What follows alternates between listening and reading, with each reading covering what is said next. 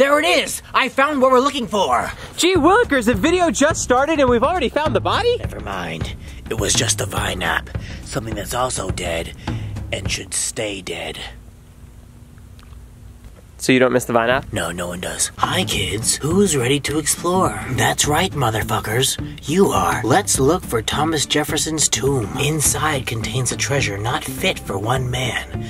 Well, maybe do. I honestly don't know. That's just what it said on Yahoo Answers. Yahoo's my favorite search engine. Oh, that and Ask Jeeves. Okay, let's get to the mission, you fucking pieces of shit. Cool it with the words, okay? What? I'm trying to get them motivated. Normally I wear glasses, but I lost them in an ass crack at the strip club. Whose tomb are we looking for today? We are looking for the tomb of Thomas Jefferson, the 41st President of the United States. Did you major in history? Of course. That's why I'm an explorer. The first cave I came out of was my mother's womb. The first tunnel I came out of was my father's. That's right. I used to swim. I swam out of his penis. There was a bunch of other swimmers, but I was the only one that survived. I killed them all off. Is there something cool inside the tomb? Apparently, Tom Tom liked to stay icy. Icy? Is it cold in there or something? No, he has jewelry. It's what the World Star kids are saying instead of jewelry. Icy. Icy. He's so icy that his neck doesn't like him. That boy Tom. That boy Tom Tom, icy. You know what they say about explorers? Big penises. My feet are killing me. You said we'd be there like an hour ago. Well, according to my map, we're almost there. It's like a 47 mile span. Good thing there's two of us. Covers twice as much ground. Why are you getting so close to me? What happens in the wilderness stays in the wilderness. I don't believe in modern medicine. I've had gonorrhea 17 times. Can you tell us about one of your exploration secrets? Have you ever heard of North Korea? Yeah. That was a science experiment gone wrong. I don't want to put that one in the video. Oh, why? You think they're gonna see it? I have a big channel. Wow, you're really patting yourself on the back with that one. Joe has an ego. You'll never be as good as David Dobrik.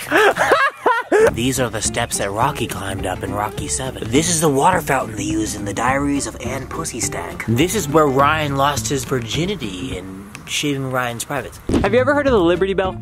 Heard of it? I cracked it. That was you? Yeah, me and Nicolas Cage back in 1990, 65. There were hookers, there were drugs. Twisted Sister was playing. The 70s were crazy in the 60s.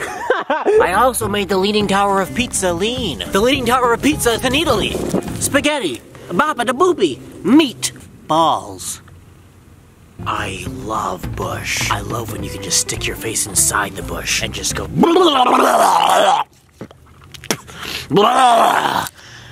Women love that. My favorite is when.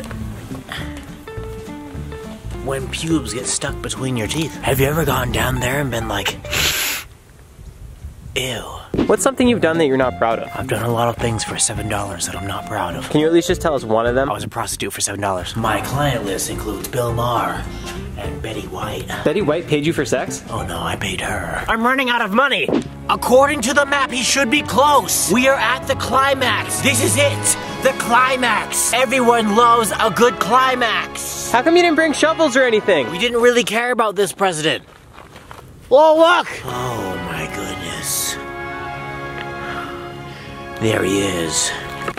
Oh, oops. Look at that gold chain! Yeah! Yeah! Oh, that was unnecessary. Uh, oh! It's so well preserved! Javelin! The ice. My neck is so icy that my neck doesn't like me. I feel like a successful rapper. Yeah!